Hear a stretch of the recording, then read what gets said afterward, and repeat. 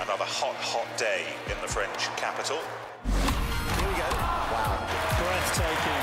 Oh my goodness. Sebastian, Thomas the man. The dagger to the heart. All about character and skill and perseverance. Every serve, every shot, every slide. This is getting good. He's a genius.